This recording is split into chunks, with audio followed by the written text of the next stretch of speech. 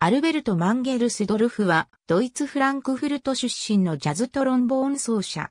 欧州で評判となったブラスを導入した、ジャズロックユニット、ユナイテッド・ジャズ、ロックアンサンブルのフロントマンで、現代のフリージャズに大きな影響を与えた。通常単音しか出せない管楽器で二つの音を同時に出すマルチフォニックスという技法を編み出した。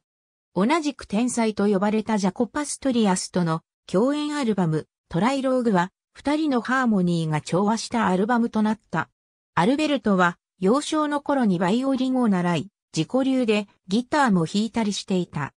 そして第二次世界大戦後の1948年頃にはギタリストとして仕事をするようになり、この頃からトロンボーンも吹くようになった。1950年から1953年にはジョークリングバンドで演奏するようになり、以降1953年から1954年にはハンスコーラーバンド、1954年から1955年にはユッタヒップバンド、そして1955年から1956年にはフランクフルトオールスターズでも演奏活動を行った。1957年にはハードバップスタイルのクインテットなどでも活動するという1950年代を過ごした。